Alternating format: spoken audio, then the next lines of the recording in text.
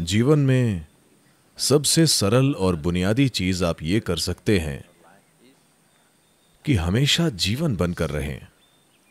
किसी खास तरीके से जीना ज़रूरी नहीं है, बस जीवित रहिए। बाकी सब कुछ शरीर और मन भी जीवन के साधन हैं। ये जीवन में सुविधा लाने के लिए हैं, न कि जीवन पर हावी होने के लिए।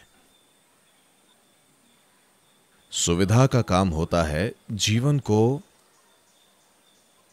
आसान और बेहतर बनाना। न कि बिल्कुल हावी हो जाना। जीवन की मदद करना। न कि उसे जकड़ना।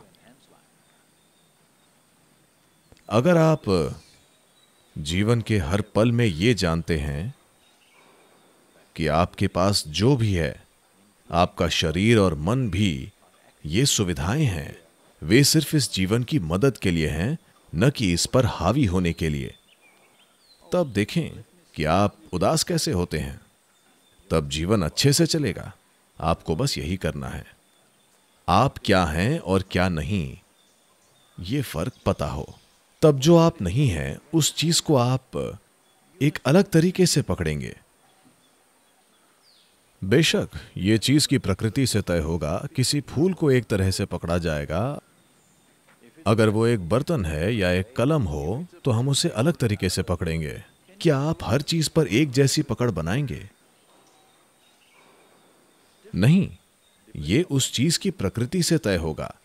पर Every kind of grip that you use, if you notice how you hold anything for that matter अगर आप हर तरह की पकड़ पर ध्यान दें कि वो पकड़ किस तरह की है तो ये हमेशा संभव होता है कि आप उस पकड़ को ढीला कर दें।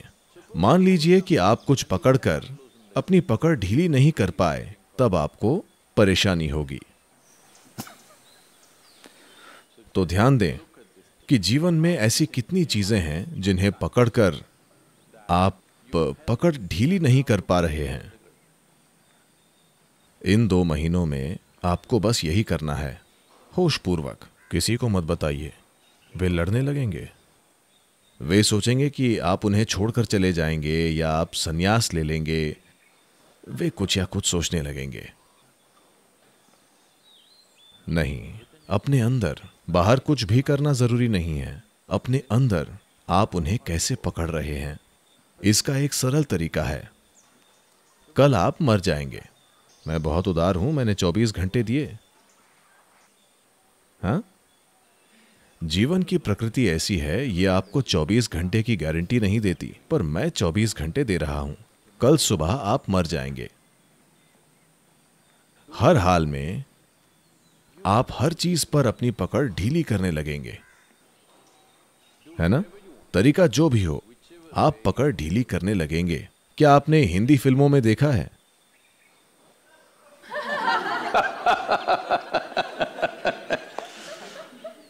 नहीं? आपने फ़िल्में नहीं देखी हैं? पकड़ ढीली हुई, इंसान गया। अपने शरीर पर से, अपने मन पर से, अपने विचारों और भावनाओं पर से अपनी पकड़ को बस थोड़ा ढीला करें। जीवित रहते हुए पकड़ ढीली करने से आप उमंग से भर जाएँगे। मरते हुए तो ऐसा हो ही जाएगा, आखिरी सीन तो इन दो महीनों का इस्तेमाल करें और हर चीज़ पर पकड़ ढीली करें।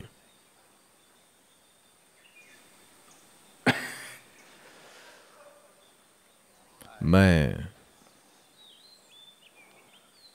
थोड़ा अलग हूँ तो मैंने अपने तरीके से सीखा था।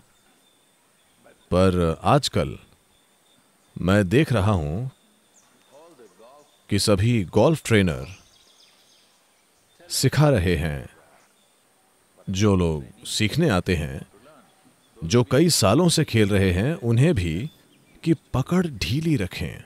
गोल्फ क्लब कसकर ना पकड़ें। वैसे मारना हो तो डंडा कसकर पकड़ा जाता है, पर ढीला पकड़ना ज़रूरी है। जो पहली बार साइकिल चलाते हैं, उनके साथ ऐसा होता है। वे ढीला पकड़ने से साइकिल अच्छी चलती है है ना? पकड़ ढीला करें, ज़िंदगी भी अच्छे से चलेगी।